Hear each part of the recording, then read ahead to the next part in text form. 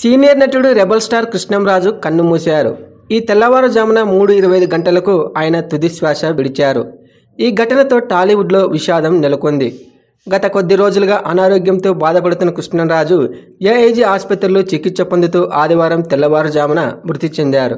పంతొమ్మిది వందల నలభై జనవరి ఇరవైన పశ్చిమ గోదావరి జిల్లా మొగల్తూరులో కృష్ణరాజు జన్మించారు.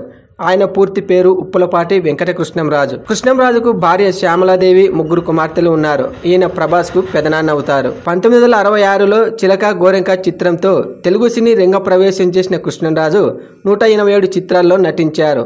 పంతొమ్మిది వందల డెబ్బై ఏడు ఎనభై నాలుగు సంవత్సరాల్లో నంది అవార్డులను కృష్ణరాజు గెలుచుకున్నారు. అలాగే పంతొమ్మిది వందల ఎనభై ఆరులో తాండ్ర పాపారాయుడు చిత్రానికి గాను ఉత్తమ నటుడిగా ఫిల్మ్ఫేర్ అవార్డు అందుకున్నారు. తన సినీ వారసుడిగా రంగప్రవేశం చేసిన యంగ్ రెబల్ స్టార్ ప్రభాస్తో మూడు సినిమాల్లో కృష్ణరాజు కలిసి నటించారు. బిల్లా రెబల్ రాధేశ్యామ్ సినిమాల్లో ప్రభాస్ కృష్ణరాజు కలిసి నటించారు. కాగా ఆయన చివరి చిత్రం రాధేశ్యామ్. అయితే ప్రభాస్ పెళ్ళి చేసుకుంటే చూడాలన్న కోరిక తీరకుండానే ఆయన కన్నుమూశారు. సినిమాల్లో నటిస్తూనే కృష్ణరాజు రాజకీయాలను తనదైన ముద్ర వేశారు. పంతొమ్మిది వందల తొంభై ఒకటిలో కాంగ్రెస్లో చేరిన కృష్ణంరాజు నర్సాపురం నుంచి ఎంపీగా పోటీ చేసి ఓడిపోయారు. అనంతరం భాజపాలో చేరిన కృష్ణంరాజు పంతొమ్మిది వందల తొంభై తొమ్మిదిలో అదే నియోజకవర్గం నుంచి ఎంపీగా గెలిచి వాజ్పేయి క్యాబినెట్లో మంత్రిగా పనిచేశారు. తర్వాత రాజకీయాలకు దూరంగా ఉంటూ వచ్చారు.